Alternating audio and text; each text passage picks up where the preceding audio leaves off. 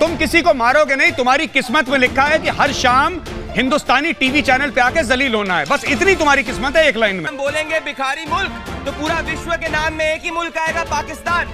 हम बोलेंगे कटोरा मुल्क किसी से भी पूछ के जाएँगे बोलेंगे पाकिस्तान। भिखारियों और कटोरों वालों की नाम लेने की ज़रूरत नहीं पड़ती। यही है सोच पाकिस्तानियों की। सर वेरी गुड बोलिए और बोलिए। This is this is Pakistan. This is Pakistan.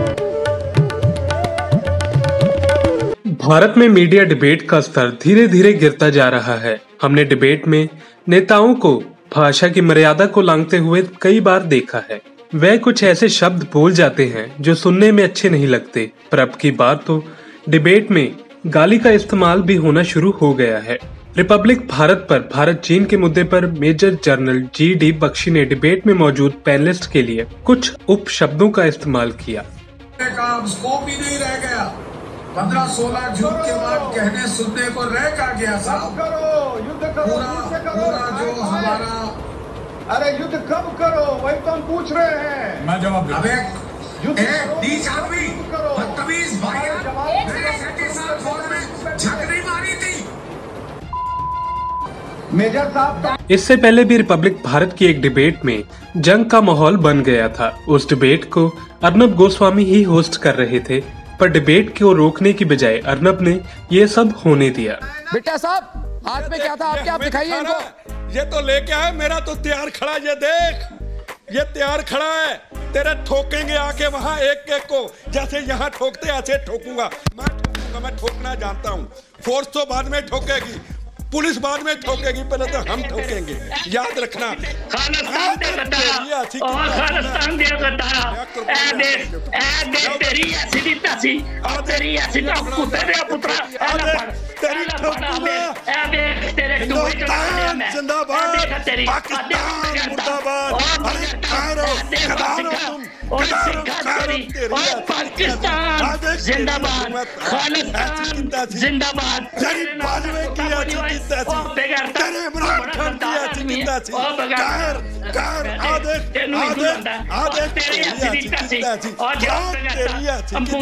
तेरी मुंडी तेरे अरे के बच्चे के बच्चे गुरु गोविंद सिंह महाराज के बच्चे हैं याद रखना चौधरी तुम्हारे जैसे चौधरी देखे इफ्तिकार चौधरी मिनट एक मिनट। गौरव आर्या। गौरव आर्या गौरव आर्या गौरव आर्या।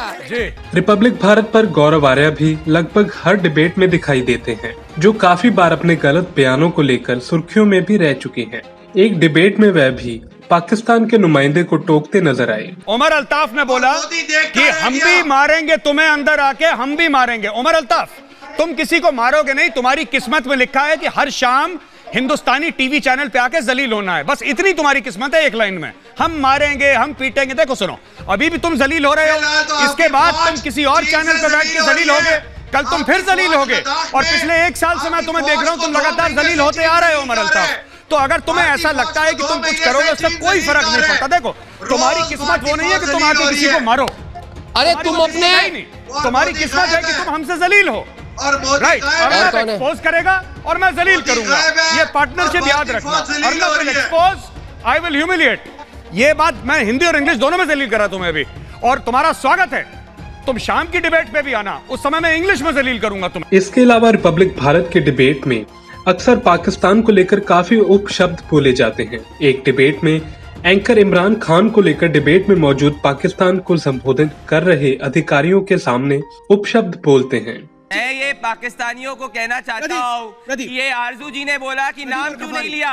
ये आरज़ू जी ने बोला और इनके रिटायर्ड हर्ट खिलाड़ियों ने बोला नाम क्यों नहीं लिया? अरे हम बोलेंगे भिखारी मुल्क। तो पूरा विश्व के नाम में एक ही मुल्क आएगा पाकिस्तान। हम बोलेंगे आतंकी मुल्क तो एक ही नाम आएगा कि पाकिस्तान। हम बोलेंगे कटोरा मुल्क किसी से भी पूछ के जाएँगे बोलेंगे पाकिस्तान। भिखारियों और कटोरों वालों की नाम लेने की ज़रूरत नहीं पड़ती है। अरे आप लोग क्यों इतना बिल बिला रहे हैं? आप लोग इसलिए बिल बिला रहे हैं क्योंकि हमने जाके आपके एयर स्ट्राइक कर दी।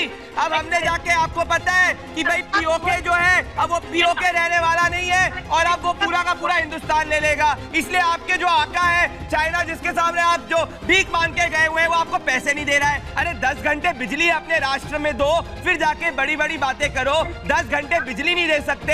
ऐसा ना हो जाए कि तुम अभी बैठे हो उसमें बिजली चले जाए। रिपब्लिक की डिबेट में अक्सर इंडिया और पाकिस्तान के नेता और अधिकारी मौजूद होते हैं। दोनों के बीच डिबेट भी होती है। ऐसी ही एक डिबेट में एंकर पाकिस्तान के नुमाइंदों पर चिल्लाती नज़र आई। मौलाना और ये बात आपको समझ नहीं आती। Sir global designated terrorist sir global designated terrorist Raja Faisal वो हमारे हीरो सर शायद आपको समझ ना आता हो ग्लोबल डेजिग्नेटेड टेररिस्ट क्या होता है? चाइनीज़ पीएलए हमारे हीरो राजा फैजल हमारे hero do you understand global designated terrorist मारा उसके बाद वो हमारे Raja Faisal global designated terrorist का मतलब समझते हैं। या इतनी पढ़ाई भी नहीं की आपने। मारेगा वो हमारा हीरो इतनी पढ़ाई नहीं की आपने। सर यही तो मैं कह रही हूँ। आप प्लीज़ बोलिए। मैं चाहती हूँ आप ये बात बोले। मैं चाहती हूँ पाकिस्तान बेपर्दा हो। यही है सोच पाकिस्तानियों की। सर वेरी गुड बोलिए और बोलिए। This is this is Pakistan. This is Pakistan. This is Pakistan. What you saying आपके लिए आपके टेररिस्ट हीरो हैं। आपने डिबेट में देखा किस तरह नेता हूँ? एंकर हूँ या आर्मी जनरल भाषा की मर्यादा धीरे धीरे भूलते जा रहे हैं। डिबेट में धमकियाँ भी दी जा रही हैं और दूसरे को नीचा भी दिखाया जा रहा है। क्या हमारे भारत में डिबेट का स्तर इतना ज़्यादा गिर चुका है? Bureau report Punjab today TV. If you like our channel, please subscribe and to get notifications about news, please click the bell icon.